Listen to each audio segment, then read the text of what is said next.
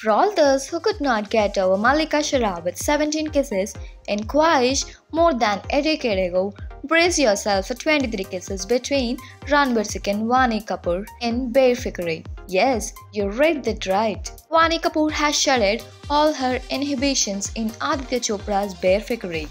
From donning the bikini on the beach to doing strip trees in a people full of library, the Shuddh Desi romance actress has set the temperature soaring with her bold avatar in her second outing. Ranveer and Vaani play Dharam and Shreya in the film who are with each other without any commitments. There is no doubt that Aditya Chopra's Befikre is the boldest film from Yash Raj's film stable till date. It's not just the bold scenes, but the concept of no strings attached relationship is what makes it so unlike an Aditya Chopra film. The film was extensively shot in Paris and shows Parisian way of love. Now, icing on the cake is that both Ranveer and Vaani would seen doing strip trees in the film. Ranveer would also be seen going but naked and there would be full black nudity scene of the actor. Also Ranveer and Vaani have a great chemistry in the film and their streamy scenes are really hot.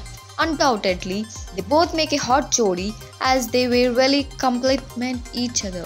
However, though the film was extremely high in hotness content, the film lacked a proper story and hence fell flat on that part. The script lacked drama and at times even the most fun parts of the film which was doing the day's stuff looked repetitive with similar kind of challenges. So, this film is strictly for the young millennial crowd and we strongly advise others, especially the ones who hate PDAs, to give this film a miss. We rate the film 2.5 star out of 5. Stay tuned to know more gossips from Bollywood. Keech Kulal, Keechko, Keechko, Keechko.